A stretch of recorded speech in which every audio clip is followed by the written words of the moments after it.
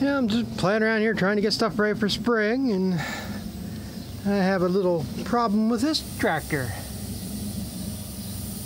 Glare's going to show it or not, but yeah, valve stem leaking.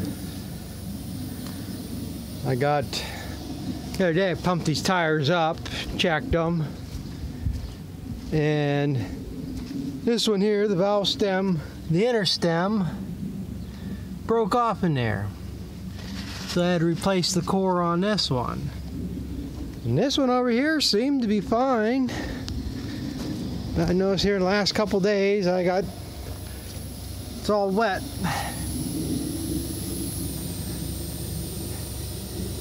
That's because I got calcium chloride in these tires.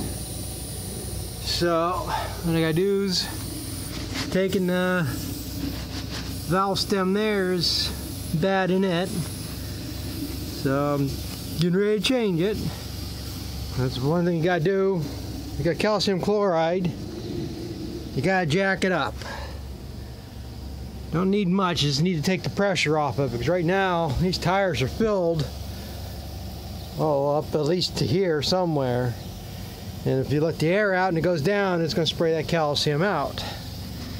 So you gotta jack it up and take the pressure off. So it's gonna blow out some here.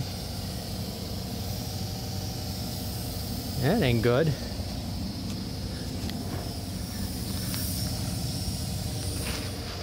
Valve stems out and it didn't rush no air.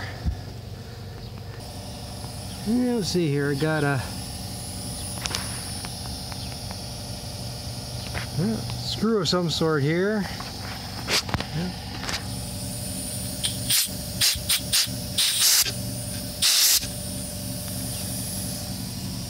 There.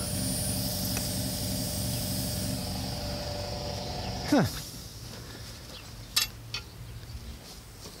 I might have more of a problem than I think.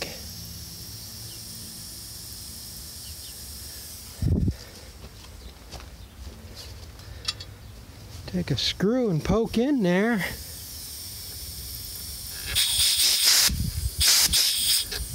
Shouldn't do that.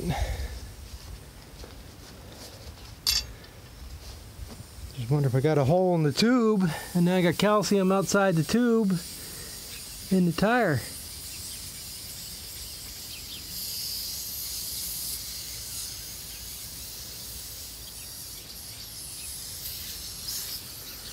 Something ain't right. I might be screwed.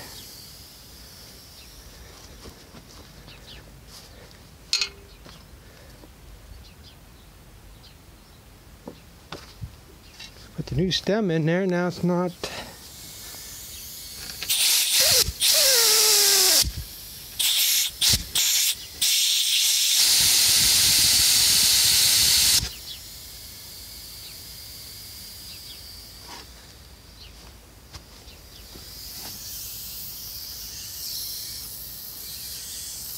Oh, crap.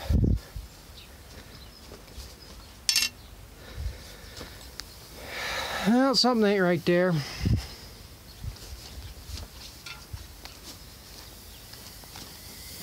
I think what I got is I got al cal calcium outside the tube, between the tire and the tube. And it's leaking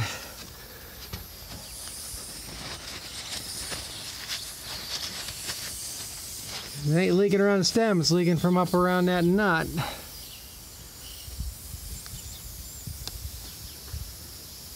Oh, crap.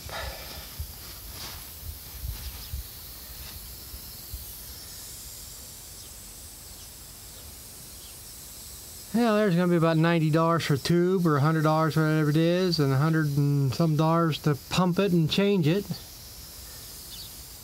I don't have the tool or calcium or the pump to pump it out. Or...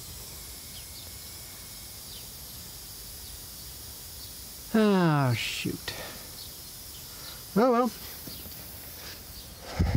Hopefully I'll hold for tonight. This is the other project I got to do. Get my jack changed. I screwed up the one day and didn't lift the jack up and I bent this foot. Well, I took, right now this is the foot that's off my hay rake so I could use this jack. but I'm gonna have to have a jack for my hay rake, and you can't buy just that foot, so you got to buy a whole new jack, and that's 200 223 dollars. That stupid little jack, which makes no sense. I don't know why they wouldn't have parts for it. And why them jacks are so much, because that's the exact same jack that's been on every spreader that I can ever think of from New Holland. So, but that's no big deal. I mean, just take this one bolt out, and looks like I gotta bend this, bend these flanges back some. They look like they're sprung out, but but I gotta do that so I can get my, be able to hook up my hay rake. So yeah, it's just some of the stuff I'm playing with today. Tried to get the discs ready. And I found I got a bearing out. I ain't gonna be able to see it, but that's part of the inner seal right there, but that's out. And how it is, I'm pretty sure I got two bearings. It takes three per gang, and like I say, if I'm gonna tear this, I really wanted to, desperate, which I might hear yet. I can just change that one bearing, the other two are good. Let's see if I, but this, these are all sealed bearings on that gang. Every other one, I've replaced all the bearings at some point, and they're all greasable bearings now. But uh, that gang I've never done yet. Have to look. I'm pretty sure I only got two bearings. So that's all I have to decide because there's only one place I can get these bearings. And hopefully they'll have one in stock. If they got one in stock, I'll go get it and change all three of them. If they don't have one in stock, I think I'm just going to drop this off and just change this one bearing. But I I don't think we're going to be doing anything here anytime soon. I mean, this here in the yard still got water setting. So.